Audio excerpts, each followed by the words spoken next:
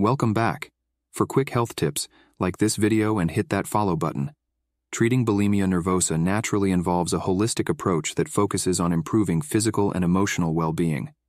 Firstly, establishing a consistent eating routine can help regulate hunger cues and prevent binging episodes. Incorporating nutrient dense foods such as fruits, vegetables, whole grains, and lean proteins can provide essential nutrients while minimizing triggers for purging behaviors. Engaging in regular physical activity like yoga or walking can reduce anxiety levels and promote a healthy body image. Seeking support from friends, family, or support groups is crucial to address underlying emotional issues related to the disorder.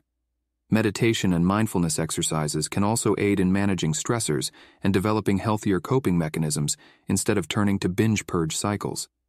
Lastly, it's important to consult with a healthcare professional or therapist who specializes in treating eating disorders to create an individualized plan tailored specifically for the person struggling with bulimia nervosa. Visit naturaldoctortips.com for free instant patient perks and access. Have a fantastic day.